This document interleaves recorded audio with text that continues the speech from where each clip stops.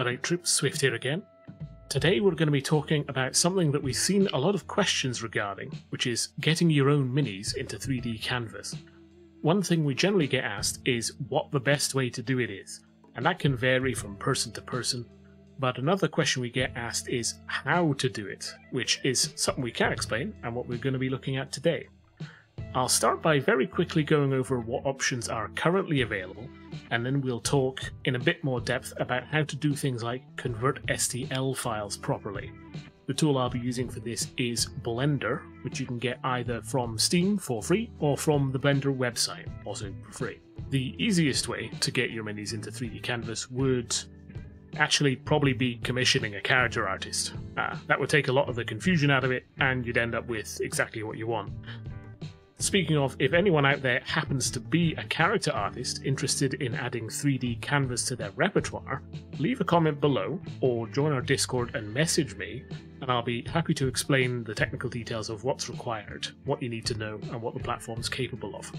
But anyway, so you can of course also either use the token browser built into 3D Canvas, which is this icon of a little person, which gives you access to a library of very high quality painted minis, or you can link your Hero Forge account, as I've spoken about before, and use your custom Hero Forge minis here in 3D Canvas. Hero Forge is a good choice from an ease of use standpoint, but you may not want to go to them for various reasons, um, so we're going to be talking about other methods today. Anyway, as for importing your own minis, the first step to that would be actually acquiring them. There are, broadly speaking, two kinds of places that you can find that'll have them. There's websites aimed at game developers or animators, like say Sketchfab or CG Trader, or websites aimed at 3D printers like My Mini Factory or Empire of Minis. And for our purposes, the 3D printing websites are actually the easiest to deal with. So you might think that a character like this, made for use in a game, would be perfect for 3D Canvas. They're low poly, they come pre-textured, they're often rigged, or even in the case of this one, animated, and they often come in a GLTF format, which is the one we use in 3D Canvas. So in theory, all you need to do is slot this into 3D Canvas and you'd be ready to go immediately. The problem is that only some of them are ready to go right out of the box. Some of them come flat packed and require some assembly. Uh, this isn't an issue if you're confident with tools like Blender or if you're a game developer yourself, but if you're not, then I'd recommend being cautious about acquiring this sort of model because it might require a fair bit of tweaking to get working, um, which we won't be going over today. In contrast, models intended for 3D printing, uh, though they will always require converted over to a different format to work, because their purpose is so singular and they all use the same file type, the process for converting them is always very similar and is pretty straightforward. So, say you find a model that you like, like say we've got this Gunslinger Hero here that's made by Crypta Studios. Let's have a look at what you might find when you get one of these. Uh, they'll all be quite different, so this won't be exactly the same as whatever you end up getting, but broadly speaking, this will be the base kind of concepts. So you might find that you get different scales of model, uh, which one to use, um, I'm not sure what the best practice is myself, to be honest, because the larger scales will tend to be more detailed, which might be good, but the smaller scales will tend to be simpler models and will take being optimized better, so maybe they're better to use. I'd say give it a try with both and see which one you like more. This is a pretty simple process, so it won't take you long to do it. Today I'm going to be going with the 32mm because I did the 75mm already in the past so the other thing will be supported and unsupported. So if you've seen 3D printers being used before, you might have seen some models with a lot of extra struts attached to them to support them while they're being printed.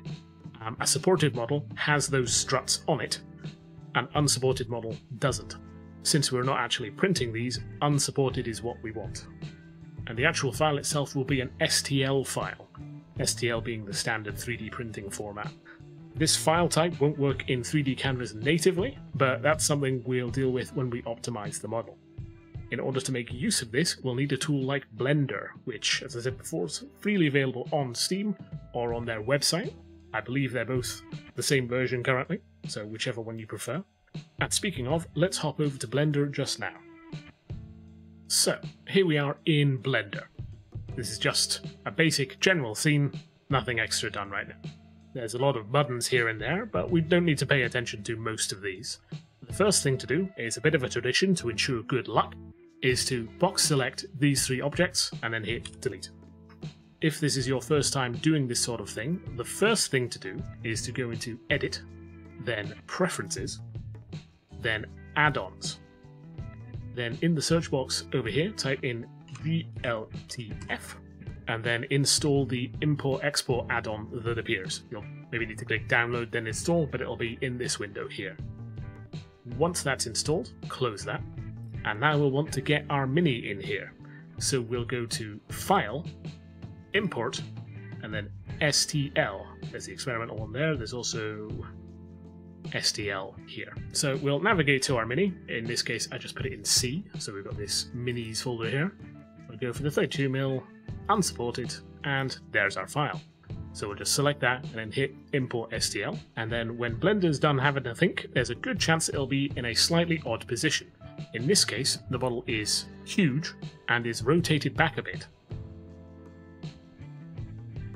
The controls in here are kind of similar to 3D Canvas, so if you've been using that at all, you should be able to get the hang of it fairly quickly. The first thing I like to do with these is to rotate it back into an upright position using the rotate tool over on the left here. It works the same as the one in 3D Canvas, so just grab these circles and pull them around to uh, adjust the model. It doesn't need to be exactly perfectly upright, of course. Um, you could spend as much time or as little time as you like. I like to have a look down at the bottom of the feet and see if I can get them being level. But in this case, I'm just eyeballing it. That looks good enough for us, so the next thing to do is to switch over to the Move tool here on the left, and then move it so that the feet are standing on this grid on the floor, using the arrows, same as 3D Canvas.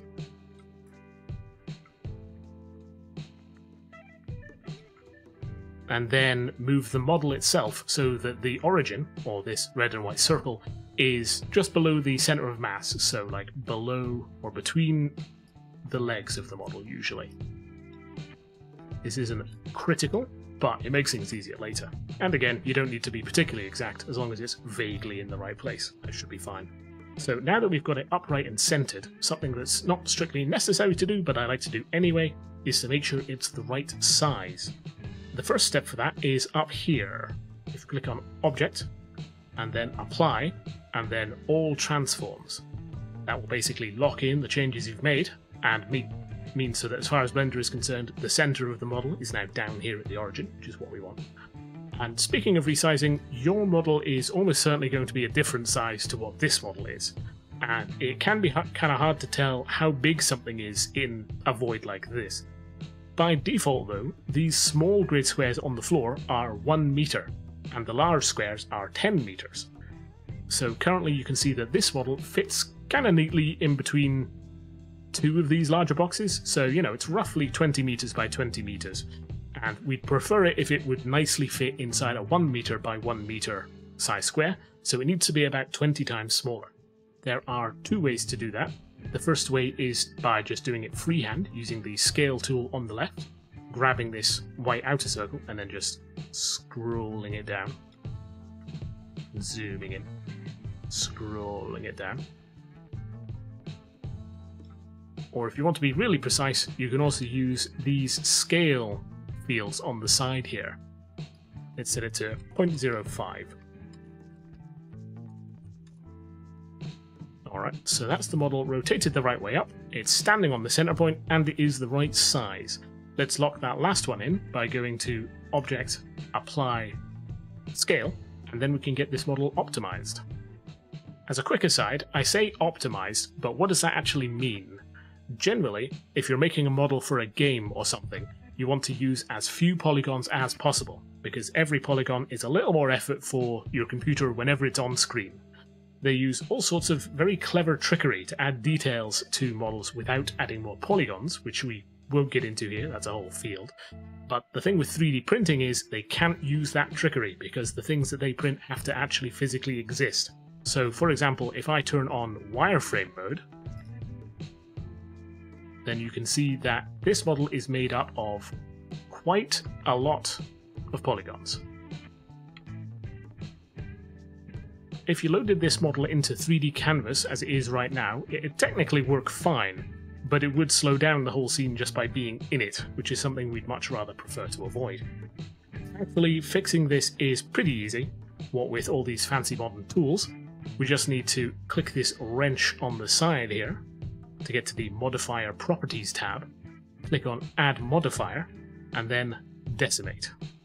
In this little window that appears here, there's only two things we need to pay attention to today. The first is ratio, or how many faces we want to end up with, and face count, which is how many faces we have right now. Or how many polygons, sorry. Face and polygon is basically interchangeable word, don't worry about it. Ideally, we want the face count to be as low as possible. Currently it's 1.1 million, which is way too high for our purposes, but we can only push this down so far before we end up with a bit of a garbled mess. So let's say we want to start by reducing the current poly count to 10% of what it is now. Let's put a 0.1 into ratio here, and hit enter. Blender will have a think for a few moments, and then show us the result.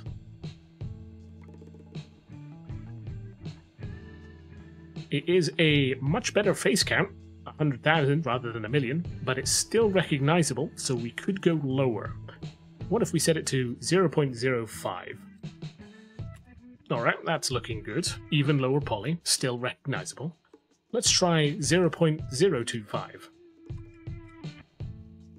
Alright, so at 0.025 I can see things are starting to break down a little bit. We've got some weird lines here at the mouth, for instance. In theory, you could go in and fix all this up manually, but for now, let's just go back to 5%, or 0.05. Okay, so that is now 58,000 polygons. Could be better, but we're using a single, mostly automated tool here, so these are pretty great results for the amount of time we've spent here. To lock that in, click this little arrow here, and then click Apply. So since we've put that decimate on, it's looking kind of facety, which is probably not what you want, so the way to sort that is to right click on it and select Shade Smooth, and then click on this green triangle thing down at the bottom right, go down to Normals, and click on Auto Smooth. This might work immediately at 30 degrees. If whatever you see after you click that looks great, then you can stop there. This one here looking a bit jank, so let's put that up to 45 degrees. And with that, you can still see a few imperfect bits here and there, but those won't really be visible inside 3D Canvas, and especially not if you go on to paint this model. Speaking of, we're going to be talking about painting minis in a video in the near future, but for now we're just going to get this one into 3D Canvas as it is here. In order to do that, we need to go to File, Export, and then GLTF 2.0. So let's find a place to put this, um, just in this minis folder we'll be fine. You'll want to make sure that over on format here, it says GLTF binary GLB, and then under data, you'll want compression to be ticked, and then under animation, you'll want these unticked. Name your model, whatever you like. Let's see, Gunslinger. And hit export. That will have created a file wherever you decided to save that. So you want to grab that file, put it wherever you put your Foundry data, like your pictures and so on. And once you've done that, switch back over to Foundry. And then once you're into 3D Canvas, select your token, select Browse Files next to 3D Model here, and then pick out your model. In this case, I've just put it into a My Cool Minis folder. And then select the file and hit Apply. You'll probably also want to apply a material. I quite like the advanced plastic one, for its nice matte finish, and then probably give it a bit of colour. And that mini is ready to go as it stands. You may want to take it a bit further and actually paint the model. That's a rabbit hole that can get pretty deep, which is why we'll be talking about that in a future video. For now though, this is a very clean and reliable way to get any STL model you might find into 3D Canvas. So you could use this for players, NPCs, monsters, anything you can find a 3D printed model of, you can get inside 3D Canvas now. For now though, and as ever, we'd love to hear your feedback on our content here. Today's video was covering a subject that I think a lot of people think is very advanced, but I hope we've demonstrated here that if you look at the steps involved, it's overall pretty simple to do. I believe that anybody could do this, really. Either way, that's all for this video, just a quick one on how to get them in here. We'll talk about painting them later on, and I'll catch you guys later.